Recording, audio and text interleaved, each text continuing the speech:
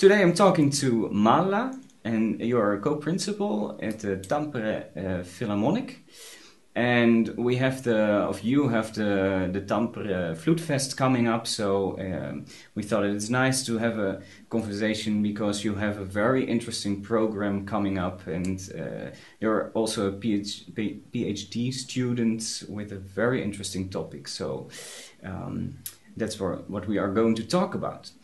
But I read that you start playing the flute at age of nine. Is it true? Yes, that's true. Uh, back in the day, when I was starting out, I, I already wanted to start playing the flute at the age of, age of seven, maybe, but it wasn't allowed because in Finland they thought it would be wiser to learn to play the recorder or another sort of smaller size instrument because and I was and I still am rather small I'm I'm not the tallest person. So for me, I played two years of the recorder from age seven up until nine, and then I was sort of allowed to change to flute. Okay, so so you played the recorder before you played the flute, and um, did you have a, a, musical family, your parents or maybe siblings? Or? My family, uh, my mom has had piano lessons, and and she also sang in a choir growing up and my family i guess they're musical but i'm not i was not born into a musical family. Instead my father is a photographer. He's now retired and he's also worked in journalism. And and he has this sort of like visual arts kind of thing. It's more of his field.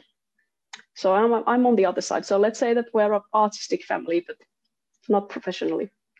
Okay Okay, but it was inspiring, uh, probably, and you you did hear music around you uh, when you were growing up.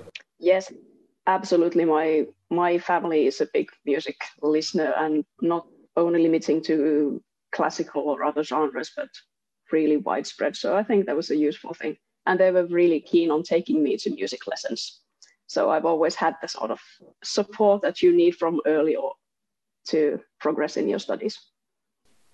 Okay, and who, who inspired you as a young flute player? I think the very first flute recording that I got was by James Galway. Mm-hmm. And I believe the title was The Man with the Golden Flute. And it's a it's a real show showbiz showcase of a CD, the collection of all the greatest hits that you could imagine. And I remember there's a recording of the Doppler Hungarian Fantasy on that. And I think that was the thing that did it for me because I was like, man, that guy can play really fast, and that's really amazing. So yes, James, James, Sir James Galway, my biggest inspiration. Okay, and and are there other uh, musicians, not flute players, that inspired you as a young flute player, or just? Mm, that's a really good question, actually. I think not at really early age. I used to listen to a lot of CDs. We had different on LPs, the Deutsche Grammophon, this this yellow label series. So I, I think I just for fun I played a lot of symphonies by different orchestras and different conductors. So I think it was just the the sort of general atmosphere of of having an orchestra around oneself. That was the thing for me. Okay, so so in the early age, the orchestra already um, excited you when you listened to it. So yes, and it did, and it was something that was always really intriguing. I'm I'm from a rather small city myself, so we didn't have a big music school, so we didn't have a symphony orchestra. Uh, or a wind orchestra. Those things started maybe a bit later on when I was already sort of further in my studies. But then uh, I went to high school in, in, in the capital of Finland, in Helsinki, uh, it was the school that was specialized in music, and there we had a full-size symphony orchestra for the students that you needed to apply to, like to audition for, to get a place in. And I was fortunate enough to to to make make it on the sort of list already during my first year there. So that was, of course, a big game changer. And during those years, I also changed because I had to move to Helsinki because of the school. I changed to another music school, and it so happened that I I was studying with this teacher, not in Helsinki, but in Espoo, and they had a, it's a really big music school, and they had a large orchestra, and they, they were doing Tchaikovsky fourth, during the year that I officially changed to their lists, and um, they needed a piccolo player. and I was the lucky one. So yeah, I think I, I played the Tchaik fourth piccolo part at the age of 17, 18. And no one told nobody told me that it was difficult. So I managed it somehow.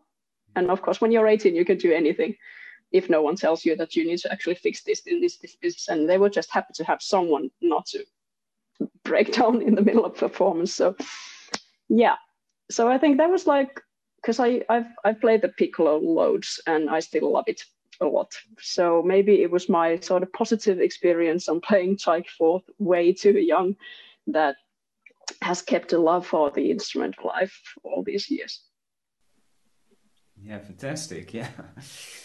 and uh, you studied in Helsinki the flute, and, and then you you went to London.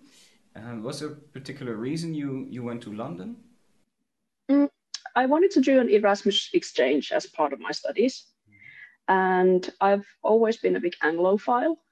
I've, I have the I have a love for the language and and in in a sense also for the culture.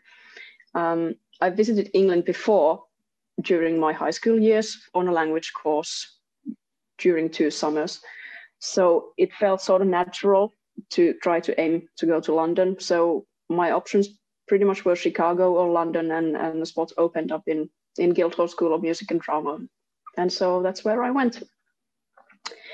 Not mainly because, or not only because of the flute playing, but also I think it's useful for young people to keep in mind that life is also for living. And if you want to do an Erasmus exchange, it should have like other perks, oh, not only maybe just a teacher, but just to choose a place where you can see you're fitted in culturally and what excites you. Mm. Yeah, that's a great advice. Yeah. And your teachers, um, you you had lessons with Ian Clarke. I, I read. Um, um, how how was it to have lessons with him? He's such a fun guy, so laid back, and he was always like, jingle, just trying to relax. And he really opened up the whole sort of my career path towards playing loads of contemporary music because he was, I'd say, he was the one who introduced all of the extended techniques for the first time to me in a really sort of progressive way and organized way. Of course, I like stumbled upon playing contemporary repertoire before and, and my teachers would always advise me on doing stuff that was in in the music. But he was like okay so this is what we're going to do now and that was a big eye opener a really useful lesson. And what i also love about his music is that he's sort of because i think that when, when you think about contemporary flute music, you always have this idea of something being really sort of analytical or mathematical, even really theoretical, and sounding futuristic or harsh, even. And his pieces are the total opposite of that. It's really, it comes from your soul and, and it's really romantic. And still, he's using all of the most rebellious extended techniques simultaneous. Yes. Do, do you have a favorite piece by him? I love the Zoom tube mostly because of the the beatboxing and everything and the screaming. so the screaming on stage is always like after you've done the scream, then it's like okay, whatever comes next, it's fine. Yeah. And it's such a big hit with the audience. It's it's a lot of acting involved as well, I think. Mm. It's a it's a piece to perform in in so many levels, not just to play but to perform. Okay, as a um, as a student, is there um, is there one thing, well, what what you learned as a student that you would advise to other students, or the the thing you um,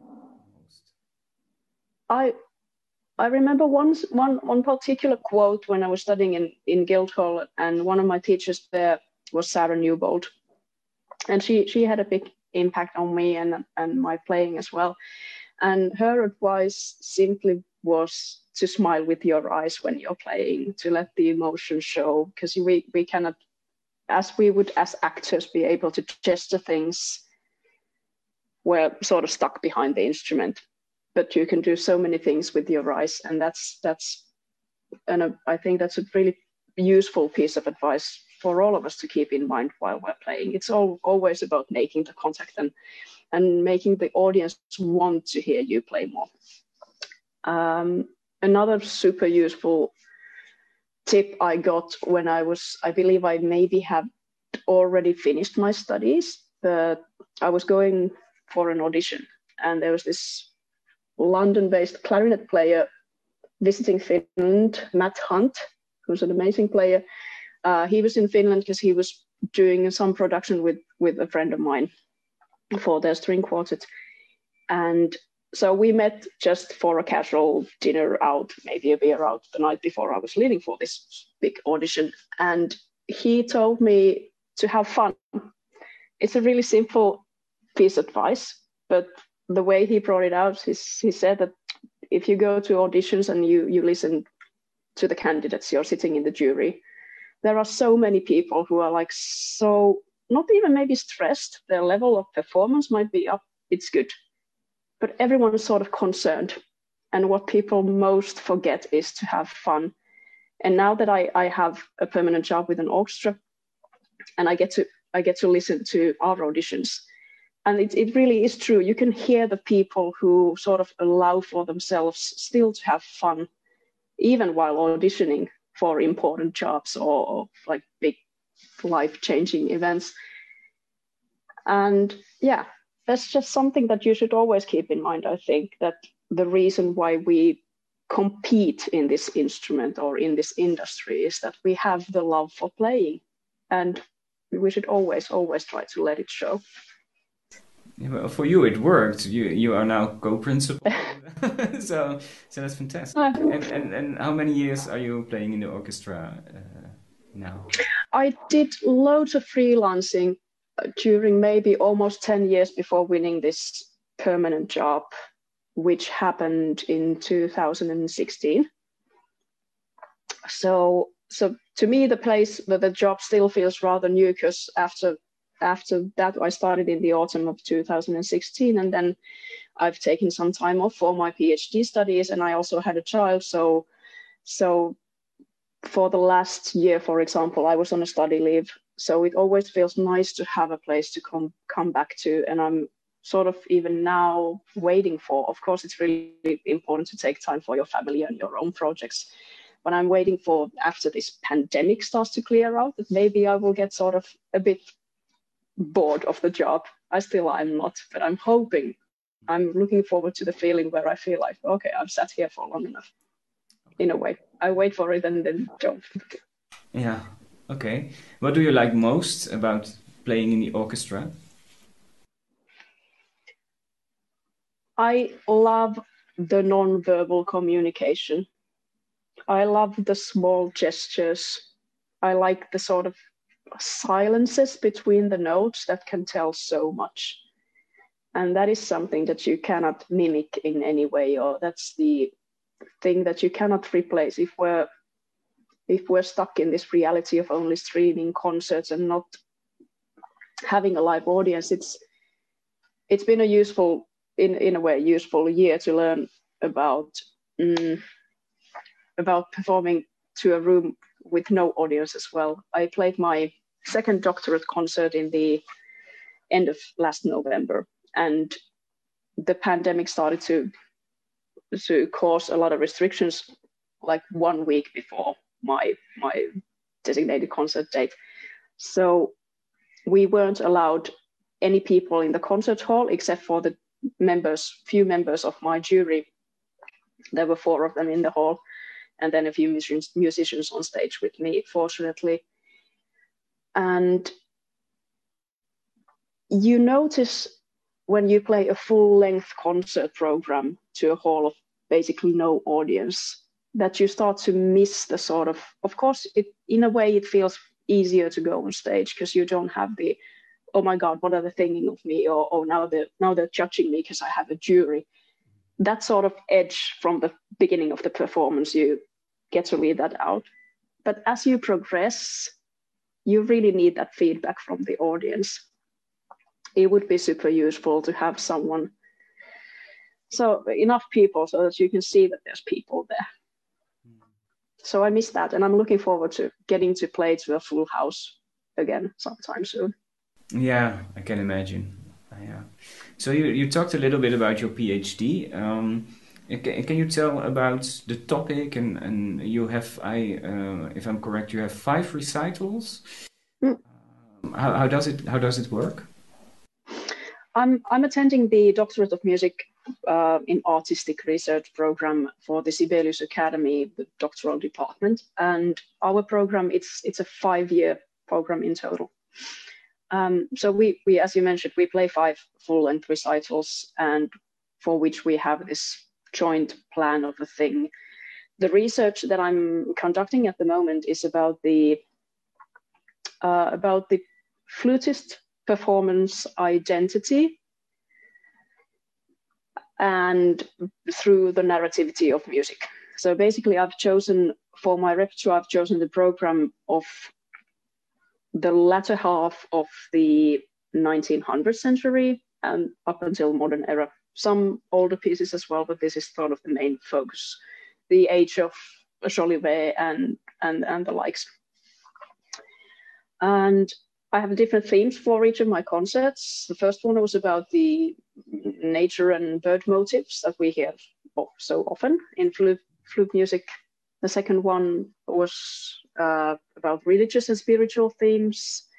In the following one, I'm sort of looking into the use of one's voice as as speaking voice, singing voice, thus the extended techniques, and um, and also about the, the, the flute voice, which which makes us individual, unique performance. Um, and then and then there's two more, but I won't go on babbling forever. Uh, we also we write these big theses. I'm now doing my first one about the. Um, it's about the questions of the identity and body in playing contemporary flute repertoire, and it steals its title from. There's an alto flute solo piece called Yta number one by Esa-Pekka Salonen, where Salonen himself, who's now much more famous as a conductor, but he's also done a lot of compositions. Um, he advises, if I remember correctly, it's Tangram that he advises, and he writes "Kiss the Instrument." So I'm I'm using that rather romantic, emotional piece advice or performance instructions as as my title because I think it's it sort of summarizes so much about how much difference there is in the way that composers guide us towards the uh, the pre- preferred acoustic result in their pieces and how much variation and how much emotion there is and how much how i perceive things affects the performance yeah very interesting yeah how, how does it affect you r- right now it does it affect you already or um, your research and thinking of this topic? It does actually, because everything right now is nicely. Uh, I've done, of course, you read a lot to do research. I read theses by other people, other flute players. I check out some pretty useful websites for extended techniques, such as yours. And I'm trying to collect some sort of like um, a collective idea about how the extended techniques right now are being talked about and how they're being taught to people, and also how the narrative that we use uh, while talking about contemporary stuff or the sort of traditional flute sound stuff, how it affects us. Because it's this this narrative, this whole thing, like in which light do we present the flute sound and all the different possibilities that one can have in making different colors and bringing our personality into the performance and, and in pieces of different eras and different styles because sometimes when you when you consider your academic training we all go to conservatory and we need to sort of reach a certain level and it has to happen but sometimes hand in hand with that i feel I, or I have this fear that we're sort of limiting ourselves to accepting only this one idea of perfect sound. Whereas uh, at yet at the same time, there's not just one perfect sound. But, but, but what I fear and what I think that sometimes happened to me during my studies, especially, was that I was aiming for a, a sound that I maybe didn't have in my own ear as much as I had sort of feeling that I should be doing something because my teachers are telling me to do this and this and this. And then you sort of have this like it's a blank canvas here when you don't if you don't have in your ear what you're looking for instead of just giving this advice of how to think about the embouchure and stuff and then you maybe get a bit lost. So what i want to do with presenting extended techniques is also to broaden the sort of idea that we have about the flute sound because personally i don't of course we need the term extended techniques but all in all it should be just flute playing. There shouldn't be like there's the flute sound and then there's the modern flute sound. It's it's all the same instrument. It's all part of the like different petals on the same one beautiful flower. And of course maybe it's not the wisest idea to go crazy with your sound if you're playing mozart at an orchestra audition but you can use those things. You can afterwards in concerts when it when you're not being sort of having to be like make it to second round in somewhere or, or whatever. It's it's a nice way to put your own character. We all use sort of when when you reach third register for instance we all use sort of fake fingerings or quarter note fingerings or whatever to make our lives easier and we we get by with them. And sometimes i i feel that maybe we should broaden the sense of flute play that we're more to more allowed to play around with them. Yeah, well, well said. yeah, beautiful. But think... that was a long talk. well, it was very nice, and I totally agree. Uh, so, um, do you do you think uh, we use the extended techniques more than than we are um, than we know? You you told about uh, the the alternative fingerings. Well, we can call that an extended technique. So, so do you think it's possible most flute players who are not comfortable yet with uh, playing uh, extended techniques do use them, but not knowing it? I think if if you're looking for different colors, because what we usually hear from our teachers or in the feedbacks of our exams, it's always like make more color. How do you make more color? you find a different resonance, you find the different registers playing differently, you add some air, you lose some air. So the timbre that, for instance, in Kaija Saariaho's music, it's so she's always she's most interested in, if I summarize it and just based on my feeling, that what interests her is the the point where you you have the sort of sound sound and then the air and it's like where those two sort of opposite sound ideals or different opposing sounds, where do they clash? And I think in general, we, we all do clash. If you play in an orchestra, you need to blend more, then you just fade your own sound out. And, and we do. I, I would claim that we all use much more extended techniques in our everyday lives than we, we would like to admit. Do you think we should we should uh, start teaching those techniques early in uh, flute studies, for example, with children already, or because you said um, while studying, it's it's it's like this. I experienced the same uh, when studying the flute, but um, yeah, what, what what do you think about teaching these techniques to children? I absolutely do that. They should be introduced like small doses because all sorts of tongue clicks, key clicks you can do at a very early age already. Kids love learning to do the tongue ram, for instance. And at least in, in my training in, in the conservatory, some of them were used to sort of tackle problems in the the forming of the tone, like whistle tones. Mm-hmm. You cannot produce a whistle tone un- unless your face is relaxed enough.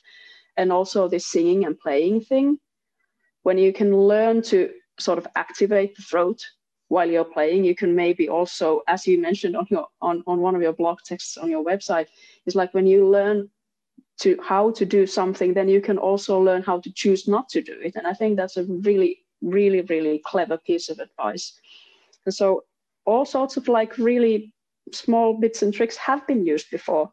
And using extended techniques, I think it makes playing with the instrument easier. Kids love different sounds we all love to play around and just like trying to find new things. And also the easiest of the multiphonics like where you push the f and then the two trill keys to make that that's pretty easy to make. And and of course you should bring all all the different sounds and, and techniques at a really early age. Yes yeah. Did you um, when you when you learned these techniques was it hard for you to learn them or was it just you just did it of course it's it's you have to think about stuff differently for instance for multiphonics you sometimes you need to write that stuff down and you need to sort of find your own way how to do it and I think one of the biggest question marks for playing contemporary repertoire still is that you there's not one unified way, one there's not a universal way of like marking down things. But then you have the advantage of being able to work with the composers. So sometimes when you have a composer who's still well and alive and they like to come to the rehearsals already before the concert and then you can look hey can i ask you this? What do you actually what is exactly what you mean? I mean because now the way that you've written sort of like this and this effect down to me i translate it this way and to me it would sound like this and it maybe it doesn't work on my instrument and then maybe you can have a discussion and then the composer can tell you exactly what is and you can try out different things together. And then you can have sort of an effect on the future of flute music and you can tell the composer that okay if, if you want this kind of sound i would maybe write it down this way and then maybe okay that's a much more intelligent way of like simple way to put it so that's why I also feel that it's super important for the people who are active on the scene to be active on the new music scene as well, because we sort of get to not make the future, but we get to guide the way that things are being written in the future. Yes, so um, this this make me make me makes me th uh, think you also play in the contemporary music ensemble. I have to try to pronounce it uh, the right way. Uh, Usinta Yes, Uusinta. Uusinta uh, ensemble. Um, and on the website, I, I read, I have to I have to read it. The ensemble sees it as its main mission to bring the most exciting composers from all countries um, to its concert in Helsinki and, and, beyond. And that made me um, think, and maybe this is this is what we are talking about now. What makes a composer really exciting? When is the music really exciting? Mm, to me, the most exciting, and this is just my personal view and not the ensembles, maybe.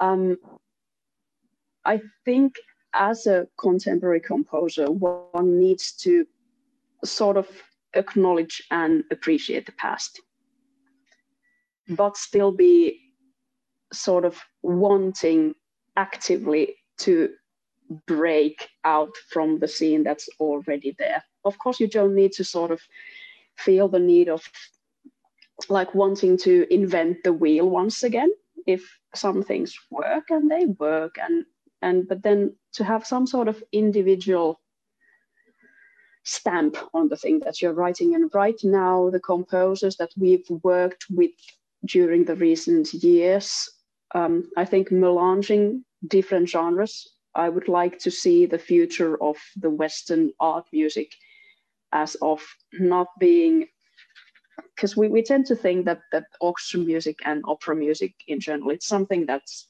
already in a museum mm-hmm. and i find that i find that idea a bit funny yet i still somehow feel that we also love to put ourselves in that sort of box and then we have the division between western art music and pop music and jazz and, and I would love to see more of an interaction between those two different different things. Um, Sebastian Hilli is one of Finnish composers who's doing a great job. He's mixing elements of acid jazz, for instance, in his classical contemporary pieces, which is a, it, it brings out a crazy result.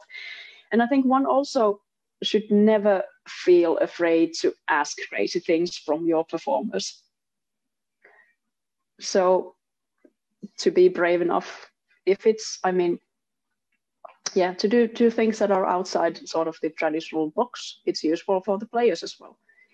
And personally, I feel that one of the things that's well, maybe it's been in in in the contemporary scene for for years already, but different textures of sound.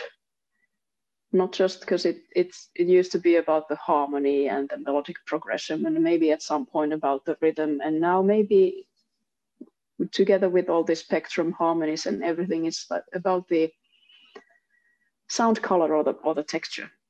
People are doing a lot of things with really grainy surfaces in a way that when you when you listen to the piece, it's it's there's a lot of like friction going on, yet to combine with this like sort of silkier, smoother textures, and that's what interests me the most. Okay, how how do you think? Um, how how does it work with the audience? There are a lot of audience of people in audiences are not used to to the contemporary um, music and. Uh, do you feel we uh, should introduce it or and just let it happen? Or how can we how can we help the audience to understand contemporary music? That's a really good question. Um, we just started out this um, with Uusinta. We're doing a big project called the Modern Classic, where we're starting with the serialists like Stockhausen and um, Boulez and stuff. And we're doing visual visualizations like in animation about the how they use the series of of different tones and how they're brought out in the music. So if, if you want to explain this sort of mathematical analytical thing to your audience, maybe it's use, really useful to bring visual aids. I don't think that the classical music scene should be afraid of taking advantage of doing visualizations as well. Um, but I, I think that as in terms of educating one's audience towards contemporary music it's to start bringing again smaller doses on smaller children. Because i remember playing these like kindergarten and elementary school concerts with with a small orchestra group years and years ago.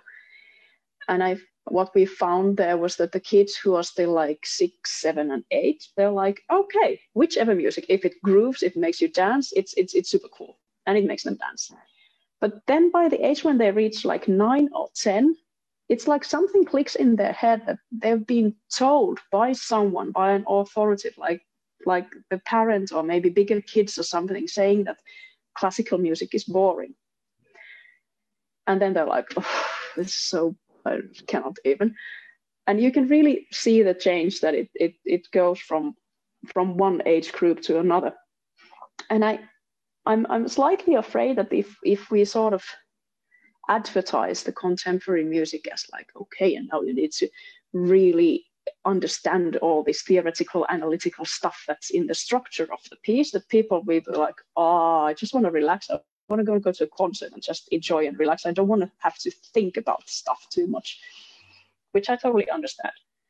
So maybe we should try to like move the narrative towards the towards the direction that we would talk about the the emotional and the interpretational qualities of contemporary music as well because what i feel in so many flute pieces is that the extended techniques are not there to create a sort of contemporary, modern, or artificial sound. Rather, they're used to bring us sort of back to nature, more to the wooden flute sound and more to this sort of native, naturalistic world of having more air in the sound and like, yeah, more nature.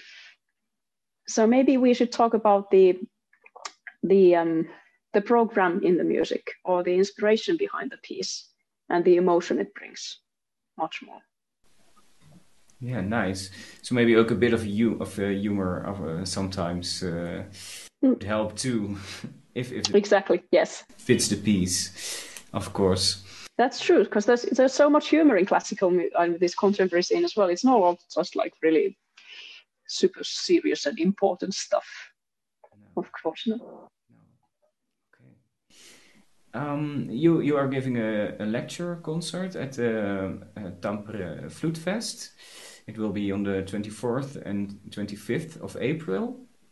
It's a live event, is it? I, I was told it's a live event, or is it via um, internet? Uh, so far at this stage, we're still hoping to make it a live event. Mm. Fingers crossed that we will be, but I'm, I'm sure that there will be a streaming option as well. But if we can bring in audience, that would be so. Fingers crossed that the situation eases up a bit. Yes. And can you tell a bit more about your lecture, your lecture concert? Is it a part of your PhD program? Um, yes, this is my. This is a very lovely chance to sort of uh, present my the, the work that I'm doing for my PhD and combine it with the sort of active concert life here in Tampere. Uh, so my it's it's going to be a shortish lecture performance and maybe emphasis on the performance and not so, so much on the on the lecture. But I will be playing pieces by Saariaho uh, and also by Andrew Ford.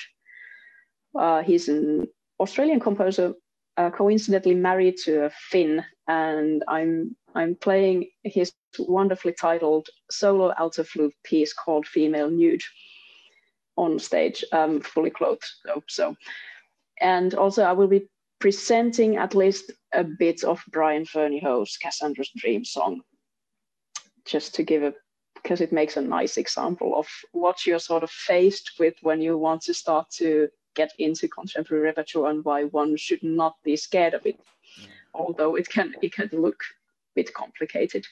Yeah, it's quite intimidating the, the, the score of, of the piece. It's it's a monolith, and, and he's he's make he's making it difficult for all parties on purpose, and I think that's that's part of the charm. Mm, yeah. Can you tell a little bit more about uh, the pieces? What are they about, um, uh, for example? Uh, I'm going to play Kaija Saariaho's Laconisme de l'aile, uh, which is the, the laconism of the of the wing and it starts with this really, really beautiful poem recited by the flautist on stage. And the poem is by Saint Jean d'Ers. And after it's the whole piece is about the sort of changes of the different timbres of the sound and changing from using one's speaking voice to the flute voice and loads of extended techniques and it's a mix and match kind of piece where you have to find your own in because the way she's written it it's sometimes not the easiest to produce all these different effects at once. And so you really need to find your own way to sort of bring it all together and and to bring it all out to the audience as well. It's a really really lovely classic piece in our contemporary repertoire uh, and this this alto flute solo by by Andrew Ford, it also uses the speaking voice mixed with the alto flute sound with different vowels and different uh, some consonants even, and singing and playing all together at once. And I I just I'm a big fan of the the side instruments. As I mentioned before, I have a love for the piccolo playing and also for the alto flute. So I'm excited to bring out that as well, because the alto flute as a solo instrument is something that you don't often get to hear. So I'm using this opportunity now.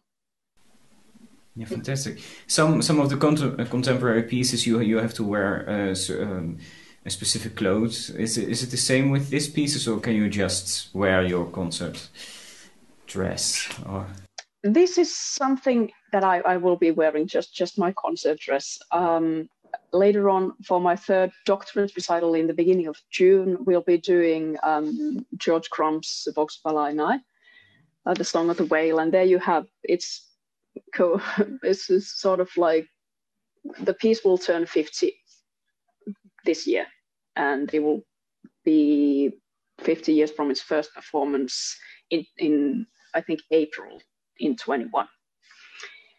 No, 22, something like that. Anyways, um, and it's it's a trio for three masked players. So how that is, of course, Crumb gave these specific um, instructions on how everyone should wear a visi or some sort of like an eye mask of thing. But now during this day and age that we're forced to use the face mask in a different sense, one has to think, should we just cover the whole face or how should we how should we be doing it? Um, but maybe let's see if we can use the lights in the hall for the festival to try and create a bit of atmosphere with them. We'll see. Yes. Well, thank you. I th- um, that's the questions I had, and um, thank you so much for this very nice interview. And uh, thank you. Really hope that uh, the the Tampere Flute Fest will will be able to be live uh, in Finland and hopefully uh, all around the world we can join you uh, via the internet. That would be fantastic. Um, so thank you again, and uh, yeah, good luck with your PhD. Uh, thank you. Process. It was lovely talking to you and lovely making your acquaintance, and I hope to that we get to meet live one day. This would be very nice. Very nice.